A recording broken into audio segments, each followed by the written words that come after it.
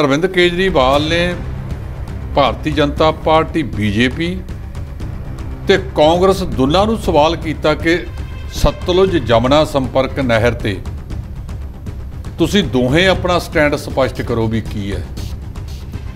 ਉਹ ਕਹਿੰਦਾ ਇਹ ਦੋਹੇ ਪਾਰਟੀਆਂ ਦੇ ਆਗੂ ਜੇ ਤਾਂ ਪੰਜਾਬ 'ਚ ਜਾਂਦੇ ਨੇ ਤਾਂ ਇੱਕ ਪਾਣੀ ਪਾਣੀ ਦੀ ਬੂੰਦ ਨਹੀਂ ਹੈ ਸਾਡੇ ਕੋਲ, ਅਸੀਂ ਨਹੀਂ ਦੇ ਸਕਦੇ। ਜਦੋਂ ਇੱਧਰ ਆ ਜਾਂਦੇ ਨੇ, ਐਸ ਹਵਾਈ ਵਾਈਐਲ ਦਾ ਪਾਣੀ ਹਰਿਆਣੇ ਨੂੰ ਵੀ ਚਾਹੀਦਾ ਭਾਈ। ਉਹ ਕਹਿੰਦੇ ਤੁਸੀਂ ਸਟੈਂਡ ਸਪਸ਼ਟ ਕਰੋ ਵੀ ਤੁਸੀਂ ਪੰਜਾਬ ਵੱਲ ਖੜੇ ਹੋ ਜਾਂ ਹਰਿਆਣੇ ਵੱਲ ਖੜੇ ਹੋ। ਫਿਰ ਕੇਜਰੀਵਾਲ ਨੂੰ ਪੁੱਛਿਆ ਵੀ ਤੁਹਾਡਾ ਸਟੈਂਡ ਕੀ ਹੈ? ਉਹ ਕਹਿੰਦਾ ਵੀ ਪਾਣੀ ਹਰਿਆਣੇ ਨੂੰ ਵੀ ਚਾਹੀਦਾ ਪਾਣੀ ਪੰਜਾਬ ਨੂੰ ਵੀ ਚਾਹੀਦਾ ਪਾਣੀ ਨੀਵਾ ਪੰਜਾਬ 'ਚ ਵੀ ਬਹੁਤ ਜ਼ਿਆਦਾ ਹੋ ਚੁੱਕਿਆ ਤੇ ਹਰਿਆਣੇ 'ਚ ਵੀ ਹੋ ਚੁੱਕਿਆ। ਆਮ ਆਦਮੀ ਪਾਰਟੀ ਦੇ ਖੇਤੀਬਾੜੀ ਮੰਤਰੀ ਕੁਲਦੀਪ ਸਿੰਘ ਧਾਲੀਵਾਲ ਕਹਿ ਕੇ ਹਟੇ ਨੇ ਕਿ ਸਾਡੇ ਕੋਲੇ ਕਿਸੇ ਰਾਜ ਨੂੰ ਪਾਣੀ ਦੇਣ ਦੀ ਕੋਈ ਪਾਣੀ ਨਹੀਂ। ਜਿਹੜੀ ਅਸਲ ਲੜਾਈ ਹੈ ਉਹ ਲੜਨ ਵਾਲੇ ਪਾਸੇ ਇਹ ਤੁਰਦੇ ਹੀ ਨਹੀਂ। ਜਦੋਂ 78 80 ਦੇ ਵਿੱਚ ਪਾਣੀ ਦੀ ਵੰਡ ਕੀਤੀ ਗਈ ਸੀ, ਉਦੋਂ ਨਾਲੋਂ ਹੁਣ ਪਾਣੀ ਘਟ ਗਿਆ। ਤੇ ਹਰਿਆਣੇ ਨੇ ਇੱਕੋ ਰੱਟ ਲਾਈ ਵੀ ਹੈ ਕਿ ਜਿੰਨਾ ਪਾਣੀ ਉਦੋਂ ਵੰਡ ਕੇ ਦੇਤਾ 40% ਦੇ ਹਿਸਾਬ ਨਾਲ ਸਾਨੂੰ ਉਹੀ ਦਿੱਤਾ ਜਾਵੇ। ਆਮ ਵਾਲੇ ਤਾਂ 5 ਮਹੀਨਿਆਂ ਦੇ ਆਏ ਆ। ਇਹ ਅਕਾਲੀ ਤੇ ਕਾਂਗਰਸੀ ਬਰਾਬਰ ਦੇ ਜ਼ਿੰਮੇਵਾਰ ਨੇ, ਵਿੱਚੇ ਭਾਜਪਾ ਹੀ, ਕਿਉਂਕਿ ਇਹਨਾਂ ਨੇ ਨਾਲ ਰਲ ਕੇ ਕੀਤੀ ਹੈ। ਕੁਲਦੀਪ ਬਿਸ਼ਨੋਈ ਦੇ ਮੁਕਾਬਲੇ ਸੀਟ ਲੜੀ ਸੀ, ਸੋਨਾਲੀ ਫਗਾਟ ਨੇ ਭਾਰਤੀ ਜਨਤਾ ਪਾਰਟੀ ਵੱਲੋਂ ਹਾਰ ਗਈ। ਤੇ ਇਹ ਕਤਲ ਜਿਹੜਾ ਹੋਇਆ ਹੈਗਾ, ਇਹ ਬੜੀ ਦੂਰ ਤੱਕ ਜਾਂਦਾ ਜੇ ਇਹਦੀ ਜਾਂਚ ਕਰਾ ਲਈ ਜਾਵੇ। ਜੇ ਭਾਰਤੀ ਜਨਤਾ ਪਾਰਟੀ ਕੁਲਦੀਪ ਬਿਸ਼ਨੋਈ ਨੂੰ ਟਿਕਟ ਦਿੰਦੀ ਹੈ, ਤਾਂ ਉਹਦੇ ਮੁਕਾਬਲੇ ਹਮਦਰਦੀ ਵੋਟ ਹਾਸਲ ਕਰਨ ਵਾਸਤੇ ਆਮ ਆਦਮੀ ਪਾਰਟੀ ਫਿਰ ਇਹਨੂੰ ਸੋਨਾਲੀ ਫਗਾਟ ਦੀ ਧੀ ਯਸ਼ੋਧਰਾ ਨੂੰ ਟਿਕਟ ਦੇ ਸਕਦੀ ਹੈ। ਸਾਬਕਾ ਕੈਬਨਿਟ ਮੰਤਰੀ ਭਾਰਤ ਭੂਸ਼ਣ ਆਸ਼ੂ ਦੀ ਜੋ ਕਿ ਬਹੁਤ ਹੀ, ਬਹੁਤ ਟੈਂਡਰ ਘੁਟਾਲੇ ਮਾਮਲੇ ਦੇ ਵਿੱਚ, ਜੇਲ੍ਹ ਦੇ ਵਿੱਚ ਬੰਦ ਨੇ, ਜਿਨ੍ਹਾਂ ਨੇ ਜ਼ਮਾਨਤ ਲਈ ਜਿਹੜੀ ਉਹ ਅਰਜ਼ੀ ਲਗਾਈ ਗਈ ਸੀ, ਜਿਸ ਦੀ ਅੱਗੇ ਜਿਹੜੀ 9 ਤਰੀਕ ਪਾ ਦਿੱਤੀ ਉਹਨਾਂ ਨੇ ਫੈਸਲਾ ਅੱਜ ਦੋਹਾਂ ਪਾਸਿਆਂ ਦੀ ਬਹਿਸ ਤੋਂ ਬਾਅਦ ਰਾਖਵਾਂ ਰੱਖ ਲਿਆ। ਸਰਕਾਰੀ ਵਕੀਲ ਨੇ ਆਪਣੇ ਤੌਰ ਤੇ ਲੜਾਈ ਲੜੀ ਹੈ ਤੇ ਭਾਰਤ ਭੂਸ਼ਣ ਆਸ਼ੂ ਦਾ ਜਿਹੜਾ ਵਕੀਲ ਹੈ, ਉਹਨਾਂ ਦਾ ਨਾਮ ਆ ਪਰਪਕਾਰ ਸਿੰਘ ਘੁੰਮਣ। ਉਹਨਾਂ ਨੇ ਬਹਿਸ ਵਗੈਰਾ ਕੀਤੀ ਹੈ। ਅਦਾਲਤ ਨੇ ਪਰਸੋਂ ਤੇ ਭਾਵ 9 ਤਰੀਕ ਤੇ ਇਹ ਫੈਸਲਾ ਛੱਡ ਦਿੱਤਾ ਹੈ। 9 ਤਰੀਕ ਨੂੰ ਉਹ ਦੱਸਣਗੇ ਕਿ ਭਾਰਤ ਭੂਸ਼ਣ ਆਸ਼ੂ ਨੂੰ ਜ਼ਮਾਨਤ ਮਿਲਦੀ ਹੈ ਜਾਂ ਨਹੀਂ ਮਿਲਦੀ ਇਹ ਉਸ ਵੇਲੇ ਸਮਾਂ ਦੱਸੇਗਾ। D5 ਚੈਨਲ ਪੰਜਾਬੀ ਦੇਖ ਰਹੇ ਸਾਰੇ ਦਰਸ਼ਕਾਂ ਦਾ ਸਵਾਗਤ ਹੈ। ਮੈਂ ਸੁਖਵੀਰ ਸਿੰਘ ਇੱਕ ਮੇਰੀ ਸੁਣੋ ਪ੍ਰੋਗਰਾਮ ਲੈ ਕੇ ਹਾਜ਼ਰ ਹਾਂ ਜਿਸ ਦੇ ਵਿੱਚ ਅਸੀਂ ਵੱਖੋ ਵੱਖਰੇ ਮੁੱਦਿਆਂ ਤੇ ਚਰਚਾ ਕਰਦੇ ਤੇ ਚਰਚਾ ਕਰਨੀ ਸਾਡੇ ਨਾਲ ਨੇ D5 ਦੇ ਸੀਨੀਅਰ ਐਡੀਟਰ ਜਸਪਾਲ ਸਿੰਘ ਢਿੱਲੋਂ ਉਹਨਾਂ ਦਾ ਸਵਾਗਤ ਕਰੀਏ। ਸਤਿ ਸ਼੍ਰੀ ਅਕਾਲ ਜੀ। ਸਤਿ ਸ਼੍ਰੀ ਅਕਾਲ ਜੀ ਭੰਗੂ ਸਾਹਿਬ। ਜੇਕਰ ਗੱਲ ਕੀਤੀ ਹੈ ਪੰਜਾਬ ਦੇ ਮੁੱਖ ਮੰਤਰੀ ਭਗਵੰਤ ਮਾਨ ਦੀ ਤੇ ਦਿੱਲੀ ਦੇ ਮੁੱਖ ਮੰਤਰੀ ਅਰਵਿੰਦ ਕੇਜਰੀਵਾਲ ਦੀ ਤਾਂ ਉਹ ਹਸ਼ਿਆਰ ਹਸਾਰ ਦੇ ਵਿੱਚ ਪਹੁੰਚੇ ਨੇ ਜਿੱਥੇ ਉਹਨਾਂ ਨੇ ਇੱਕ ਪ੍ਰੈਸ ਕਾਨਫਰੰਸ ਕੀਤੀ ਹੈ ਤੇ ਉੱਥੇ ਹੀ ਸੋਨਾਲੀ ਪੁਖਾੜ ਦੇ ਘਰ ਵੀ ਅਫਸੋਸ ਕਰਨ ਦੇ ਲਈ ਗਏ ਨੇ। ਤੁਸੀਂ ਦੋ ਖਬਰਾਂ ਇਕੱਠੀਆਂ ਕਰਤੀਆਂ ਭੰਗੂ ਸਾਹਿਬ ਇੱਕ ਤਾਂ ਉਹਨਾਂ ਨੇ ਪ੍ਰੈਸ ਮਿਲਣੀ ਕੀਤੀ ਹੈ ਜੀ। ਉੱਥੇ ਹਸਾਰ ਦੇ ਵਿੱਚ। ਜੀ। ਦੂਜਾ ਉਹ ਸੋਨਾਲੀ ਫੋਗਾਟ ਦੇ ਘਰ ਵੀ ਗਏ ਨੇ। ਆਪਾਂ ਪਹਿਲਾਂ ਪ੍ਰੈਸ ਕਾਨਫਰੰਸ ਦੀ ਗੱਲ ਕਰ ਲਈਏ। ਜੀ। ਉਹਨਾਂ ਨੇ ਅਰਵਿੰਦ ਕੇਜਰੀਵਾਲ ਨੇ ਭਾਰਤੀ ਜਨਤਾ ਪਾਰਟੀ, ਬੀਜੇਪੀ ਤੇ ਕਾਂਗਰਸ ਦੋਨਾਂ ਨੂੰ ਸਵਾਲ ਕੀਤਾ ਕਿ ਸਤਲੁਜ ਜਮਨਾ ਸੰਪਰਕ ਨਹਿਰ ਤੇ ਤੁਸੀਂ ਦੋਹੇ ਆਪਣਾ ਸਟੈਂਡ ਸਪਸ਼ਟ ਕਰੋ ਵੀ ਕੀ ਹੈ। ਉਹ ਕਹਿੰਦਾ ਇਹ ਦੋਹੇ ਆ ਪਾਰਟੀਆਂ ਦੇ ਆਗੂ ਜੇ ਤਾਂ ਪੰਜਾਬ 'ਚ ਜਾਂਦੇ ਨੇ ਤਾਂ ਇੱਕ ਪਾਣੀ ਪਾਣੀ ਦੀ ਬੂੰਦ ਨਹੀਂ ਹੈ ਸਾਡੇ ਕੋਲ, ਅਸੀਂ ਨਹੀਂ ਦੇ ਸਕਦੇ। ਜਦੋਂ ਇੱਧਰ ਆ ਜਾਂਦੇ ਨੇ ਐਸ ਵਾਈਐਲ ਦਾ ਪਾਣੀ ਹਰਿਆਣੇ ਨੂੰ ਵੀ ਚਾਹੀਦਾ ਭਾਈ। ਉਹ ਕਹਿੰਦੇ ਤੁਸੀਂ ਸਟੈਂਡ ਸਪਸ਼ਟ ਕਰੋ ਵੀ ਤੁਸੀਂ ਪੰਜਾਬ ਵੱਲ ਖੜੇ ਹੋ ਜਾਂ ਹਰਿਆਣੇ ਵੱਲ ਖੜੇ ਹੋ।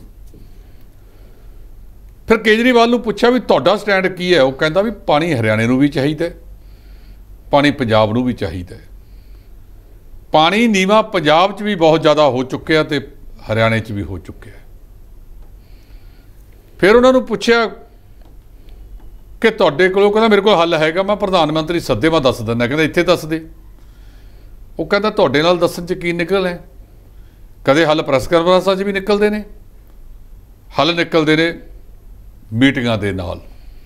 ਮੇਰੇ ਕੋਲੇ ਹੱਲ ਹੈਗਾ, ਮੈਂ ਪ੍ਰਧਾਨ ਮੰਤਰੀ ਸਾਹਿਬ ਨੂੰ ਇਹਦਾ ਹੱਲ ਦੱਸ ਸਕਦਾ, ਇਹ ਬੁਲਾਵੇ ਦੋਨਾਂ ਨੂੰ, ਤਿੰਨਾਂ ਨੂੰ। ਤੇ ਕੱਲ ਹੀ ਆਮ ਆਦਮੀ ਪਾਰਟੀ ਦੇ ਖੇਤੀਬਾੜੀ ਮੰਤਰੀ ਕੁਲਦੀਪ ਸਿੰਘ ਧਾਲੀਵਾਲ ਕਹਿ ਕੇ ਹਟੇ ਨੇ। ਕਿ ਸਾਡੇ ਕੋਲੇ ਕਿਸੇ ਰਾਜ ਨੂੰ ਪਾਣੀ ਦੇਣ ਦੀ ਕੋਈ ਪਾਣੀ ਨਹੀਂ। ਮੈਂ ਇਸ ਤੋਂ ਪਹਿਲੇ ਪ੍ਰੋਗਰਾਮ 'ਚ ਕਿਹਾ ਜਿਹੜੀ ਅਸਲ ਲੜਾਈ ਹੈ ਉਹ ਲੜਨ ਵਾਲੇ ਪਾਸੇ ਇਹ ਤੁਰਦੇ ਹੀ ਨਹੀਂ। ਜਦੋਂ 78 80 ਦੇ ਵਿੱਚ ਪਾਣੀ ਦੀ ਵੰਡ ਕੀਤੀ ਗਈ ਸੀ, ਉਦੋਂ ਨਾਲੋਂ ਹੁਣ ਪਾਣੀ ਘਟ ਗਿਆ। ਗਲੇਸ਼ੀਅਰ ਪਿਘਲਨੇ ਘੱਟ ਹੋ ਗਏ। ਉਸ ਦਰ ਨਾਲ ਪਾਣੀ ਆ ਨਹੀਂ ਰਿਹਾ। ਤੇ ਹਰਿਆਣੇ ਨੇ ਇੱਕੋ ਰੱਟ ਲਾਈ ਵੀ ਹੈ ਕਿ ਜਿੰਨਾ ਪਾਣੀ ਉਦੋਂ ਵੰਡ ਕੇ ਦੇਤਾ 40% ਦੇ ਹਿਸਾਬ ਨਾਲ ਸਾਨੂੰ ਉਹੀ ਦਿੱਤਾ ਜਾਵੇ।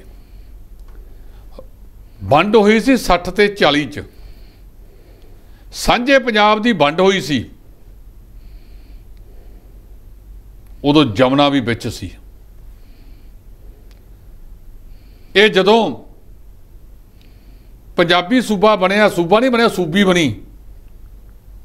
ਇਹ ਹਿਮਾਚਲ ਤੇ ਹਰਿਆਣਾ ਕੱਢਤਾ। ਜਿਨ੍ਹਾਂ ਨੇ ਆਪਣੀ ਸੌੜੀ ਰਾਜਨੀਤੀ ਕਰਕੇ ਦੇਣ ਵਾਲੇ ਤਾਂ ਬੇਈਮਾਨ ਸੀ, ਤੇ ਲੈਣ ਵਾਲੇ ਵੀ ਕਿਸੇ ਬੇਈਮਾਨਤਾ ਤੋਂ ਘੱਟ ਨਹੀਂ ਸੀ। ਉਹਨਾਂ ਨੂੰ ਸਿਰਫ ਰਾਜ ਚਾਹੀਦਾ ਸੀ ਜਿੱਥੇ ਉਹ ਕੁਰਸੀ ਤੇ ਬੈਠ ਸਕਦੇ। ਉਸ ਵੇਲੇ ਜਿਹੜਾ ਯਮਨਾ ਦਾ ਪਾਣੀ ਵੰਡਿਆ ਨਹੀਂ ਗਿਆ, ਉਹਨੂੰ ਵਿੱਚ ਲੈਣਾ ਚਾਹੀਦਾ ਸੀ। ਜਿਹੜਾ ਪਾਣੀ 60 40 ਦੇ ਹਿਸਾਬ ਨਾਲ ਹਰਿਆਣੇ ਨੂੰ ਦਿੱਤਾ ਗਿਆ, ਮੰਨ ਲਓ 4000 ਮਿਲੀਅਨ ਏਕੜ ਫੁੱਟ ਦਿੱਤਾ ਗਿਆ। ਜੇ ਜਮਨਾ ਰਾਹੀਂ ਹਰਿਆਣੇ ਦੇ ਵਿੱਚ 1000 ਮਿਲੀਅਨ ਏਕੜ ਫੁੱਟ ਜਾਂਦਾ ਹੈ, ਤੇ 4000 ਚੋਂ 4 ਘਟਾਉਣਾ ਚਾਹੀਦਾ ਸੀ। ਦੂਜਾ, ਇਹਨਾਂ ਨੇ ਇੱਥੇ ਰੱਟ ਪਾਈ ਹੈ, ਇਹ ਹਰਿਆਣਾ ਸ਼ਹਿਰ ਦਾ ਜਮਨਾ ਸੰਪਰਕ ਨਹਿਰ ਦੀ ਗੱਲ ਕਿਉਂ ਨਹੀਂ ਕਰਦਾ? ਹਰ ਸਾਲ ਸ਼ਹਿਰ ਦਾ ਨਦੀ ਬਹੁਤ ਵੱਡੇ ਪੱਧਰ ਦੇ ਉੱਤੇ ਨੁਕਸਾਨ ਕਰਦੀ ਹੈ। ਉਧਰਲੇ ਪਾਸੇ ਇਹ ਬੋਲਦੇ ਨਹੀਂ। ਇਹਦੇ ਤੇ ਸਾਰਿਆਂ ਨੇ ਜਿਹੜੀ ਸਿਆਸਤ ਕੀਤੀ ਆ, ਉਹ ਪੰਜਾਬ ਦੇ ਹੱਕ 'ਚ ਨਹੀਂ ਕੀਤੀ। ਮੈਂ ਬਾਰ-ਬਾਰ ਉਹੀ ਗੱਲਾਂ ਰਿਪੀਟ ਕਰੀ ਜਾਵਾਂ। ਇਹਦੇ 'ਚ ਅਕਾਲੀਆਂ ਦਾ ਕਸੂਰ ਆ, ਕਾਂਗਰਸੀਆਂ ਦਾ ਕਸੂਰ ਆ, ਪਤਾ ਨਹੀਂ ਕਿਹਦਾ ਕਿਹਦਾ ਕਸੂਰ ਹੈ ਲੇਕਿਨ ਇਹਦੇ ਤੇ ਸੁਹਿਰਦਤਾ ਨਹੀਂ ਦਿਖਾਈ। ਜਿਹੜਾ ਗੁਲਜਾਰੀ ਲਾਲ ਨੰਦੇ ਦੀ ਅਗਵਾਈ ਵਿੱਚ ਉਦੋਂ ਪਾਣੀ ਵੰਡਿਆ ਗਿਆ ਸੀ ਬਾਕਾਇਦਾ ਉਹਦੇ ਵਿੱਚ ਲਿਖਿਆ ਹੋਇਆ ਹੈ ਕਿ ਰਾਇਲਟੀ ਤੇ ਗੱਲਬਾਤ ਇਹ ਰਾਜਾਂ ਦੀਆਂ ਸਰਕਾਰਾਂ ਬਾਅਦ ਵਿੱਚ ਕਰ ਲੈਣਗੀਆਂ। ਭਾਵ, ਪੰਜਾਬ ਨੂੰ ਤੇ ਹਿਮਾਚਲ ਨੂੰ ਰਾਇਲਟੀ ਦੇਣੀ ਸੀ ਉਹਦੀ। ਰਾਇਲਟੀ ਦੇ ਉੱਤੇ ਇਹਨਾਂ ਨੇ ਕੋਈ ਕੰਮ ਨਹੀਂ ਕੀਤਾ। ਇੱਕ ਕਹਿੰਦਾ, ਟੱਕ ਅਮਰਿੰਦਰ ਸਿੰਘ ਨੇ ਲਵਾਇਆ ਇੰਦਰਾ ਗਾਂਧੀ ਤੋਂ, ਦੂਜੇ ਕਹਿੰਦੇ ਆ ਕਿ ਦੇਵੀ ਲਾਲ ਤੋਂ ਪੈਸੇ ਕਿਹਨੇ ਵਸੂਲੇ ਸੀ? 2 ਕਰੋੜ। ਇਹ ਆਪਣੇ ਆਪ ਦੇ ਵਿੱਚ ਬਹੁਤ ਵੱਡੀ ਗੱਲ ਹੈ। ਭਾਵ ਇਸ ਹਮਾਮ ਦੇ ਵਿੱਚ ਸਾਰੇ ਇੱਕੋ ਜਿਹੇ ਹੈ। ਕੈਪਟਨ ਅਮਰਿੰਦਰ ਸਿੰਘ ਨੇ ਉਹਦਾ ਨੀਂਹ ਪੱਥਰ ਰਖਵਾਇਆ। ਬਾਅਦ ਦੇ ਵਿੱਚ 2004 ਚ ਉਹਨੇ ਇੱਕ ਤਰਫਾ ਮਤਾ ਪਾਸ ਕਰ ਦਿੱਤਾ ਗਿਆ। ਜਿਹਦੇ ਤੇ ਬਾਅਦ ਦੇ ਵਿੱਚ ਸੁਹਿਰਦਤਾ ਨਾਲ ਸੁਪਰੀਮ ਕੋਰਟ ਦੇ ਵਿੱਚ ਲੜਾਈ ਨਹੀਂ ਲੜੀ ਗਈ। ਔਰ ਜੇ ਤੁਸੀਂ ਹਰਿਆਣੇ ਦਾ ਵਕੀਲ ਜਿਵੇਂ ਹੁਣ ਸਵਾਲ ਉੱਠਦੇ ਆ ਕਿ ਜਿਹੜਾ ਵਿਨੋਦ ਕਈ ਐਡਵੋਕੇਟ ਜਨਰਲ ਲਾਇਆ ਭਗਵੰਤ ਸਿੰਘ ਮਾਨ ਦੀ ਸਰਕਾਰ ਨੇ, ਇਹ ਤਾਂ ਡੇਰਾ ਮੁਖੀ ਦਾ ਵੀ ਵਕੀਲ ਰਿਹਾ। ਉਹ ਪ੍ਰੋਫੈਸ਼ਨਲ ਬੰਦਾ ਰਹਿ ਸਕਦਾ ਹੈ, ਪਰ ਇਹ ਇੱਕ ਦੂਜੇ ਨੂੰ ਇਹ ਸਵਾਲ ਉਠਾਉਂਦੇ ਨੇ। ਤੇ ਉਦੋਂ ਫਿਰ ਜਿਹੜਾ ਅਕਾਲੀ ਭਾਜਪਾ ਸਰਕਾਰ ਵੇਲੇ ਵਕੀਲ ਕੀਤਾ ਗਿਆ ਉਹ ਮਿਸਟਰ ਅਗਰਵਾਲ ਉਹ ਕਿਸੇ ਵੇਲੇ ਹਰਿਆਣੇ ਦਾ ਐਡਵੋਕੇਟ ਜਨਰਲ ਸੀ। ਜਿਨੇ ਉੱਥੇ ਕੇ ਜਿਤਾਇਆ ਤੇ ਤੁਹਾਨੂੰ ਦੁਨੀਆ 'ਚੋਂ ਕੋਈ ਵਕੀਲ ਹੀ ਨਹੀਂ ਲੱਭਿਆ। ਇਸ ਕਰਕੇ ਸਾਰੇ ਆਮ ਵਾਲੇ ਤਾਂ 5 ਮਹੀਨਿਆਂ ਦੇ ਆਏ ਆ। ਇਹ ਅਕਾਲੀ ਤੇ ਕਾਂਗਰਸੀ ਬਰਾਬਰ ਦੇ ਜ਼ਿੰਮੇਵਾਰ ਨੇ, ਵਿੱਚੇ ਭਾਜਪਾ ਹੀ, ਕਿਉਂਕਿ ਇਹਨਾਂ ਨੇ ਨਾਲ ਰਲ ਕੇ ਕੀਤੀ ਹੈ। ਕੇਜਰੀਵਾਲ ਨੇ ਕਿਹਾ ਕਿ ਦੋਨੇ ਜਣੇ ਆਪਣਾ ਸਪਸ਼ਟ ਕਰੋ। ਦੋ, ਨੰਬਰ 2 ਨੰਬਰ 2 ਉਹਨਾਂ ਨੇ ਕਿਹਾ ਕਿ ਮੇਰੇ ਕੋਲੇ ਹੱਲ ਹੈ। ਮੈਂ ਜਿੱਦਣ ਜੇ ਸੱਦੇ ਪ੍ਰਧਾਨ ਮੰਤਰੀ ਉਹ ਹੱਲ ਦੱਸ ਸਕਦਾ, ਦੱਸ ਦਿਓ। ਪੰਜਾਬ ਦੇ ਵਿੱਚ ਤਾਂ 14.5 ਲੱਖ ਟਿਊਬਵੈੱਲ ਲੱਗ ਗਿਆ। ਤਿੰਨ ਤਿੰਨ 4 400 ਫੁੱਟ ਤੇ ਪਾਣੀ ਚਲਿਆ ਗਿਆ। ਚੌਥੀ ਪੰਜਵੀਂ ਮੰਜ਼ਲ ਨੂੰ ਟੱਚ ਕਰੀ ਫਿਰਦੇ ਨੇ। ਤੇ ਇਹਨਾਂ ਨੇ ਜੇ ਇਹ 14.5 ਲੱਖ ਟਿਊਬਵੈੱਲ ਨਹੀਂ ਸੀ ਲੱਗਦਾ, ਜੇ ਪਾਣੀਆਂ ਦੀ ਸਹੀ ਲੜਾਈ ਲੜੀ ਹੁੰਦੀ ਔਰ ਤੁਹਾਨੂੰ 6700 ਕਰੋੜ ਦੀ ਬਿਜਲੀ ਤੇ ਸਬਸਿਡੀ ਵੀ ਨਹੀਂ ਸੀ ਦੇਣੀ ਪੈਂਦੀ ਤੇ ਜੇ ਪਾਣੀ ਨਹਿਰੀ ਇੱਥੇ ਚੱਲਿਆ ਹੁੰਦਾ। ਦੂਜਾ ਸਵਾਲ ਕਿਹੜਾ ਪੁੱਛਿਆ ਜੀ ਤੁਸੀਂ? ਸੋਨਾਲੀ ਪੁਕਾਟ ਵਾਲੇ। ਹਾਂ ਸੋਨਾਲੀ ਫੋਗਾਟ ਵਾਲਾ ਜਿਹੜਾ ਮਾਮਲਾ ਹੈਗਾ ਉੱਥੋਂ ਦਾ ਇੱਕ ਆਦਮਪੁਰ ਸੀਟ ਹੈ ਜਿਹੜੀ ਕੁਲਦੀਪ ਬਿਸ਼ਨੋਈ ਦੇ ਪਾਸੇ ਹੋ ਜਾਣ ਤੋਂ ਬਾਅਦ ਖਾਲੀ ਹੋ ਗਈ ਹੈ। ਕੁਲਦੀਪ ਬਿਸ਼ਨੋਈ ਦੁਬਾਰਾ ਟਪੂਸੀ ਮਾਰ ਕੇ ਭਾਰਤੀ ਜਨਤਾ ਪਾਰਟੀ 'ਚ ਜਾ ਰਲੇ ਆ। ਭਾਰਤੀ ਜਨਤਾ ਪਾਰਟੀ ਉਹ ਅੱਜ ਉਹਨਾਂ ਦੇ ਘਰ ਬੈਠਣ ਗਏ ਨੇ। ਜਿਹੜੀ ਸੋਨਾਲੀ ਫੋਗਾਟ ਦੀ ਬੇਟੀ ਹੈ ਜਸ਼ੋਧਰਾ ਉਹਦੇ ਨਾਲ ਵੀ ਮੁਲਾਕਾਤ ਕੀਤੀ ਹੈ। ਇਹ ਕਹੀਂ ਪੇ ਨਿਗਾहें ਕਹੀਂ ਪੇ ਇਸ਼ਾਰਾ, ਮੈਨੂੰ ਲੱਗਦਾ ਕਿ ਇਹ ਸਾਰਾ ਕੁਝ ਹੋ ਤਾਂ ਕੁਝ ਅਜੀਬ ਕਿਸਮ ਦਾ ਹੀ ਰਿਹਾ ਹੈ। ਔਰ ਤੁਸੀਂ ਦੇਖੋ ਕਿ ਉਹ ਇਹਦੀ ਉਪਚੋਣ ਬਹੁਤ ਜਲਦੀ ਆ ਜਾਣੀ ਹੈ। ਕੁਲਦੀਪ ਬਿਸ਼ਨੋਈ ਦੇ ਮੁਕਾਬਲੇ ਸੀਟ ਲੜੀ ਸੀ, ਸੋਨਾਲੀ ਫਗਾਟ ਨੇ ਭਾਰਤੀ ਜਨਤਾ ਪਾਰਟੀ ਵੱਲੋਂ ਹਾਰ ਗਈ। ਤੇ ਇਹ ਕਤਲ ਜਿਹੜਾ ਹੋਇਆ ਹੈਗਾ, ਇਹ ਬੜੀ ਦੂਰ ਤੱਕ ਜਾਂਦਾ ਜੇ ਇਹਦੀ ਜਾਂਚ ਕਰਾ ਲਈ ਜਾਵੇ। ਕਿਸੇ ਵੇਲੇ ਵੀ ਚੋਣ ਆ ਸਕਦੀ ਹੈ ਤੇ ਉੱਥੋਂ ਜਿਹੜੀ ਉਹਨਾਂ ਦੀ ਹਮਦਰਦੀ ਵੋਟ ਹੈ, ਉਹਨੂੰ ਕੈਚ ਕਰਨ ਵਾਸਤੇ ਇਹ ਅਰਵਿੰਦ ਕੇਜਰੀਵਾਲ ਵੀ ਉੱਥੇ ਗਏ ਨੇ ਕਿ ਜੇ ਭਾਰਤੀ ਜਨਤਾ ਪਾਰਟੀ ਕੁਲਦੀਪ ਬਿਸ਼ਨੋਈ ਨੂੰ ਟਿਕਟ ਦਿੰਦੀ ਹੈ, ਤਾਂ ਉਹਦੇ ਮੁਕਾਬਲੇ ਹਮਦਰਦੀ ਵੋਟ ਹਾਸਲ ਕਰਨ ਵਾਸਤੇ ਆਮ ਆਦਮੀ ਪਾਰਟੀ ਫਿਰ ਇਹਨੂੰ ਸੋਨਾਲੀ ਫਗਾਟ ਦੀ ਧੀ ਜਸ਼ੋਧਰਾ ਨੂੰ ਟਿਕਟ ਦੇ ਸਕਦੀ ਹੈ। ਜੀ ਇਸ ਦੇ ਨਾਲ ਜੇਕਰ ਗੱਲ ਕੀਤੀ ਹੈ ਸਾਬਕਾ ਕੈਬਨਿਟ ਮੰਤਰੀ ਭਾਰਤ ਭੂਸ਼ਣ ਆਸ਼ੂ ਦੀ ਜੋ ਕਿ ਬਹੁਤ ਹੀ ਬਹੁਤ ਟੈਂਡਰ ਘੁਟਾਲੇ ਮਾਮਲੇ ਦੇ ਵਿੱਚ ਜੇਲ੍ਹ ਦੇ ਵਿੱਚ ਬੰਦ ਨੇ ਜਿਨ੍ਹਾਂ ਨੇ ਜ਼ਮਾਨਤ ਲਈ ਜਿਹੜੀ ਉਹ ਅਰਜ਼ੀ ਲਗਾਈ ਗਈ ਸੀ ਜਿਸ ਦੀ ਅੱਗੇ ਜਿਹੜੀ 9 ਤਰੀਕ ਪਾ ਦਿੱਤੀ ਹੈ ਜੀ। ਉਹਨਾਂ ਨੇ ਫੈਸਲਾ ਅੱਜ ਦੋਹਾਂ ਪਾਸਿਆਂ ਦੀ ਬਹਿਸ ਤੋਂ ਬਾਅਦ ਰਾਖਵਾਂ ਰੱਖ ਲਿਆ। ਸਰਕਾਰੀ ਵਕੀਲ ਨੇ ਆਪਣੇ ਤੌਰ ਤੇ ਲੜਾਈ ਲੜੀ ਹੈ ਤੇ ਭਾਰਤ ਭੂਸ਼ਣ ਆਸ਼ੂ ਦਾ ਜਿਹੜਾ ਵਕੀਲ ਹੈ ਉਹਨਾਂ ਦਾ ਨਾਮ ਆ ਪਰਪਕਾਰ ਸਿੰਘ ਘੁੰਮਣ। ਉਹਨਾਂ ਨੇ ਬਹਿਸ ਵਗੈਰਾ ਕੀਤੀ ਹੈ। ਅਦਾਲਤ ਨੇ ਪਰਸੋਂ ਤੇ ਭਾਵ 9 ਤਰੀਕ ਤੇ ਇਹ ਫੈਸਲਾ ਛੱਡ ਦਿੱਤਾ ਹੈ। 9 ਤਰੀਕ ਨੂੰ ਉਹ ਦੱਸਣਗੇ ਕਿ ਭਾਰਤ ਭੂਸ਼ ਆਸ਼ੂ ਨੂੰ ਜ਼ਮਾਨਤ ਮਿਲਦੀ ਹੈ ਜਾਂ ਨਹੀਂ ਮਿਲਦੀ। ਇਹ ਉਸ ਵੇਲੇ ਸਮਾਂ ਦੱਸੇਗਾ। ਜੀ। ਉਧਰ ਜੇਕਰ ਗੱਲ ਕੀਤੀ ਜਾਵੇ, ਸਾਬਕਾ ਕੈਬਨਿਟ ਮੰਤਰੀ ਸਾਧੂ ਸਿੰਘ ਧਰਮਸੋਤ ਦੀ, ਤਾਂ ਉਹਨਾਂ ਦੀ ਜ਼ਮਾਨਤ ਮਿਲਣ ਤੋਂ ਬਾਅਦ ਜਿਹੜਾ ਅਦਾਲਤ ਨੇ ਉਹਨਾਂ ਨੂੰ ਅੰਦਰ ਜੇਲ੍ਹ ਦੇ ਅੰਦਰ ਹੀ ਜਿਹੜਾ ਆਹ ਰੱਖ ਦਿੱਤਾ ਜੀ ਦੁਬਾਰਾ।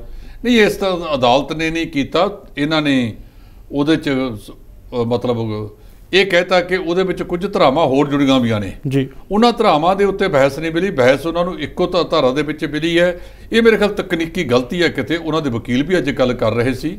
ਉਹ ਤਕਨੀਕੀ ਆਧਾਰਤ ਦੇ ਉੱਤੇ ਦੇਖੋ ਇਹਦੇ ਚ ਜਿਹੜਾ ਦੂਸਰੇ ਉਹਦੇ ਨਾਲ ਦੇ ਸੀ। ਜੇ ਸੰਗਤ ਸਿੰਘ ਗਿਲਜੀਆਂ ਦੇ ਭਤੀਜੇ ਨੂੰ ਜ਼ਮਾਨਤ ਮਿਲ ਸਕਦੀ ਹੈ। ਤੇ ਜੇ ਜਿਹੜਾ ਉਹਨਾਂ ਦੇ ਨਾਲ ਦੇ ਸਾਥੀ ਸੀਗੇ ਜਿਹੜੇ, ਉਹਨਾਂ ਨੂੰ ਜ਼ਮਾਨਤ ਮਿਲ ਸਕਦੀ ਹੈ। ਤੇ ਇਹਨਾਂ ਨੂੰ ਜ਼ਮਾਨਤ ਕਿਉਂ ਨਹੀਂ ਮਿਲ ਸਕਦੀ? ਇਹਦੇ ਵਿੱਚ ਤਕਨੀਕੀ ਨੁਕਸ ਹੈ। ਕੋਈ ਉਹਦੇ ਵਾਸਤੇ ਉਹਨਾਂ ਦੇ ਵਕੀਲ ਨੇ ਕਿਹਾ ਕਿ ਅਸੀਂ ਦੁਬਾਰਾ ਅਦਾਲਤ ਵਿੱਚ ਜਾ ਰਹੇ ਹਾਂ ਤੇ ਉਹ ਵੀ ਕਲੀਅਰ ਕਰਕੇ ਲੈ ਆਵਾਂਗੇ। ਜਦੋਂ ਉਹ ਕਲੀਅਰ ਹੋ ਗਿਆ, ਅੱਜ ਹੋ ਜੇ, ਸਵੇਰੇ ਹੋ ਜੇ, ਫਿਰ ਸਾਧੂ ਸਿੰਘ ਧਰਮਸੋਤ ਬਾਹਰ ਆ ਸਕਦੇ ਆ। ਅੱਜ ਕਾਂਗਰਸੀਆਂ ਨੇ ਉੱਥੇ ਹੂ ਹੱਲਾ ਵੀ ਕੀਤਾ ਹੈਗਾ ਕਿ ਕਿਉਂ ਨਹੀਂ ਛੱਡਿਆ ਜਾ ਰਿਹਾ। ਤਕਨੀਕੀ ਗੱਲ ਕਿਸੇ ਨੂੰ ਪਤਾ ਨਹੀਂ ਹੁੰਦੀ। ਤਕਨੀਕੀ ਜਿਹੜੀ ਕੋਈ ਗਲਤੀ ਹੈ ਉਹ ਕਲੈਰੀਕਲ ਮਿਸਟੇਕ ਹੈ ਜਾਂ ਕੋਈ ਹੋਰ ਹੈ ਉਹਨੂੰ ਦੇਖਣ ਤੋਂ ਬਾਅਦ ਜਦੋਂ ਉਹ ਇਹ ਅੜਚਨ ਜਿਹੜੀ ਰਸਤੇ ਚੋਂ ਪਾਸੇ ਹੋਗੀ ਫਿਰ ਉਹ ਬਾਹਰ ਆ ਜਾਣਗੇ। ਜੀ ਜੇਕਰ ਗੱਲ ਕੀਤੀ ਹੈ ਸਿੱਧੂ ਮੂਸੇਵਾਲੇ ਦੇ ਪਿਤਾ ਬਲਕੌਰ ਸਿੰਘ ਦੀ ਤਾਂ ਉਹਨਾਂ ਨੂੰ ਲਗਾਤਾਰ ਜਿਹੜੀਆਂ ਧਮਕੀਆਂ ਮਿਲ ਰਹੀਆਂ ਸਨ ਜਿਸ ਦੇ ਚੱਲਦਿਆਂ ਰਾਜਸਥਾਨ ਤੋਂ ਜਿਹੜਾ ਧਮਕੀ ਦੇਣ ਵਾਲੇ ਵਿਅਕਤੀ ਨੂੰ ਦਬੋਚਿਆ ਦੋ ਬੰਦੇ ਉਥੋਂ ਗ੍ਰਿਫਤਾਰ ਕਰ ਲਿਆਂਦੇ ਨੇ ਜੀ ਜਿਨ੍ਹਾਂ ਨੇ ਈਮੇਲ ਦੇ ਉੱਤੇ ਧਮਕੀ ਦਿੱਤੀ ਸੀ ਕਿਉਂਕਿ ਪਿਛਲੇ ਦਿਨਾਂ ਦੇ ਵਿੱਚ ਬਲਕੌਰ ਸਿੰਘ ਹੋਰਾਂ ਨੇ ਇਹ ਗੱਲ ਕਹਿਤੀ ਸੀ ਕਿ ਇਹ ਜੱਗੂ ਭਗਵਾਨਪੁਰੀਆ ਤੇ ਲਾਰੈਂਸ ਬਿਸ਼ਨੋਈ ਲੱਖ ਲੱਖ ਦੇ ਜੁੱਤੇ ਪਾਈ ਫਿਰਦੇ ਨੇ।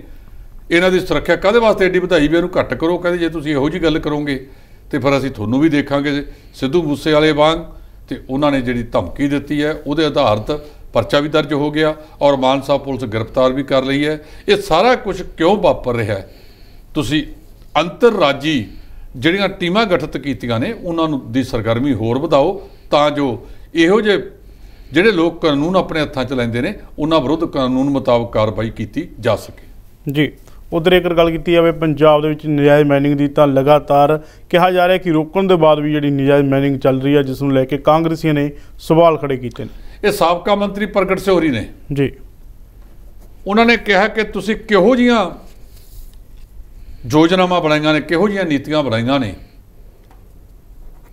ਪੰਗੂ ਸਾਹਿਬ ਇੱਥੇ ਰੇਤਾ ਇਸ ਵੇਲੇ ਵਾਕਈ ਬਹੁਤ ਵੱਡੇ ਪੱਧਰ ਤੇ ਮਿਲ ਰਿਹਾ ਹੈ। ਜੀ।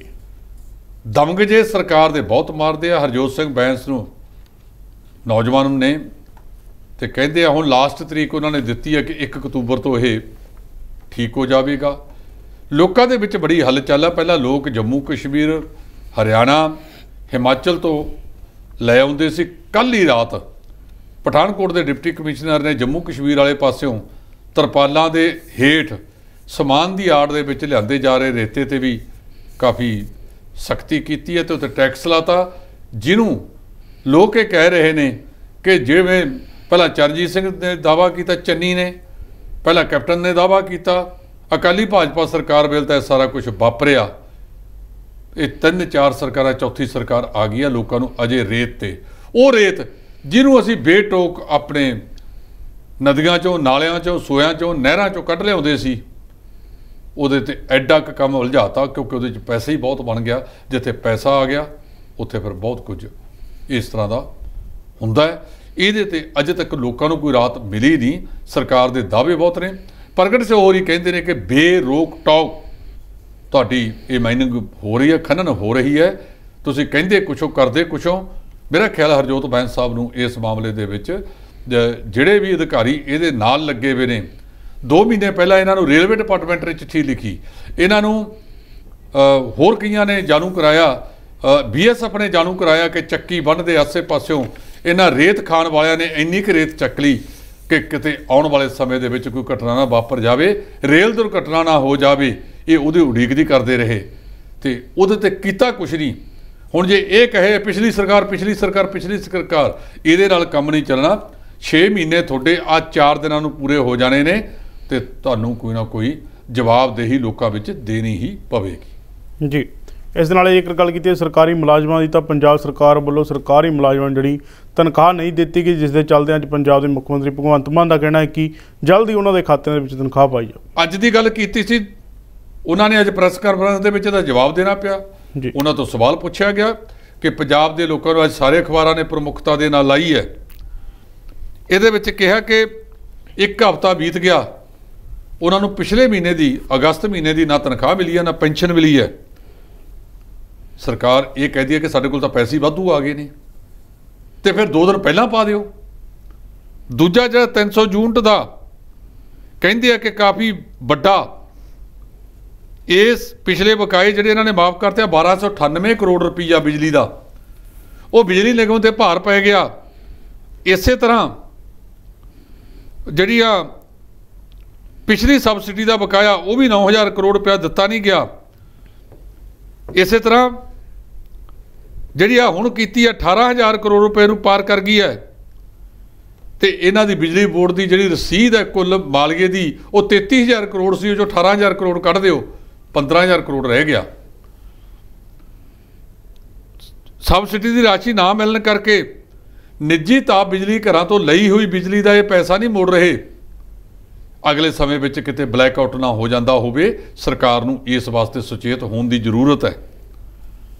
ਇਸੇ ਤਰ੍ਹਾਂ ਜਿਹੜਾ 300 ਯੂਨਿਟ ਕਿਹਾ ਹੈ, ਮੁਫਤ ਵਾਲੀ ਬਿਜਲੀ ਦੀ ਖਪਤ ਵੀ ਵੱਧ ਗਈ ਆ ਤੇ ਸਤੰਬਰ ਮਹੀਨੇ ਵਿੱਚ ਬਿਜਲੀ ਦੀ ਖਪਤ ਇਸ ਵਾਰ 14000 ਮੈਗਾਵਾਟ ਨੂੰ ਪਾਰ ਕਰ ਗਈ ਸੀ।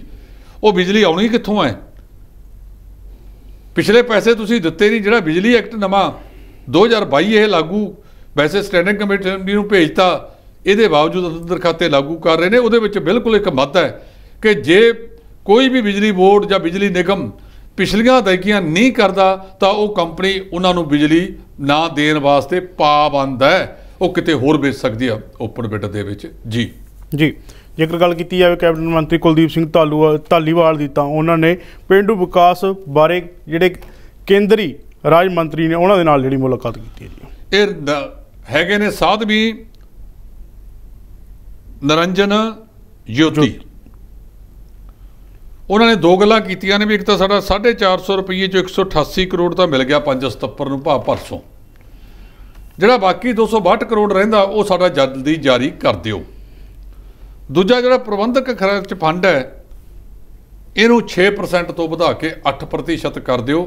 ਤੁਹਾਡੀ ਕਿਰਪਾ ਮਿਹਰਬਾਨੀ ਹੋਵੇਗੀ।